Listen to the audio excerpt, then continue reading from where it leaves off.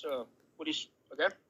Well, I mean, you've seen Oswald's, you, you've seen the famous photograph of Oswald in custody, sitting down in the chair with his, uh, he's handcuffed and his, his hair's all, uh, quite honestly, bushy. I can definitely see how Oswald, uh, at that moment, could be described as having bushy hair. By the way, you mentioned the, the reports on the police tapes by uh, Walker and also by Summers. Do you, are you familiar with the witnesses who gave these descriptions to these two particular police officers? You know who the witnesses are? Matt, Yeah, I'm here. Go on. who gave the description to Walker? That was Warren Reynolds, Right, and who gave the description to Summers? Callaway. Okay, just making sure you knew. So, uh, why didn't you mention? You, you realize that Callaway said that the suspect was wearing a uh, Eisenhower type jacket, Yep. right? Mm-hmm. Okay.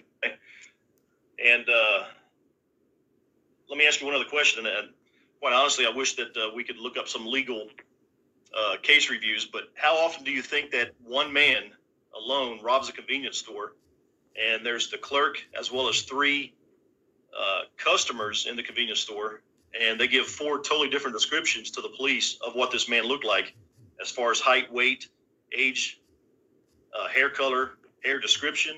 You realize that uh, I mean I can look this up when we're done, but I, I guarantee you it's at least half the time. Police officers, if they interview three or four witnesses, they're getting three or four different descriptions. Yet they all saw the same man.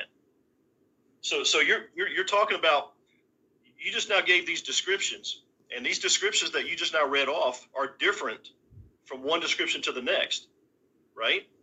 No. What's that? No. These are day. So what you just said about you know the whole oh eyewitnesses and everything that so so that's an excuse. I know that that that's what everyone throws out whenever you know they don't have an answer for this. But no, what I read you was day one descriptions. And, and that's fine. Okay, so do me a favor, if you don't mind. Can you read the, the, the Walker description and the Summers description again? white male, about thirty, black hair, wearing a white jacket, white shirt, and dark slacks. Volume 17, page 410. But again, as I said, Oswald was 24, brown hair, didn't own a white jacket, and wore a brown shirt. Not Oswald. And what about Summers? Uh, Summers told it. Uh, he it says right here, a white male, 27, 5'11", 165 pounds, black wavy hair, uh, white shirt.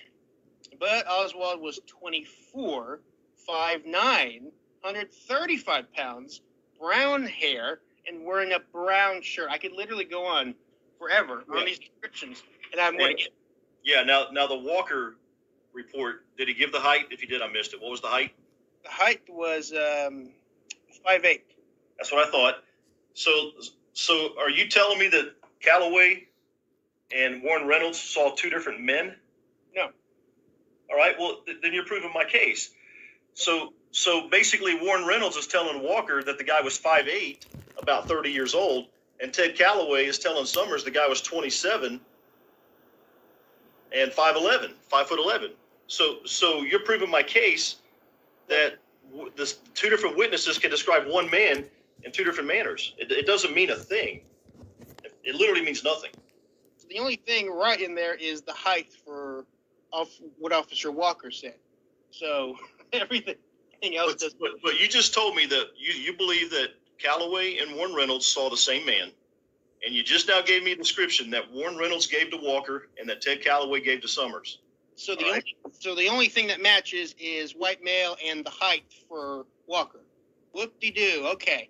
So, so, so one witness has the guy 5'11, the other witness has the guy 5'8. Yeah. So the only, One witness has the guy 30 years old, the other witness has the guy 27 years old. All right. Yeah. You're proving, you don't understand what I'm saying here. You're proving my point that these two guys saw the same man, yet they described him differently. So therefore, if, if we know that two witnesses can describe the same man completely different, then, then what's it matter? not just not describing him differently. They both said he was wearing black hair. They both said he was almost thirty.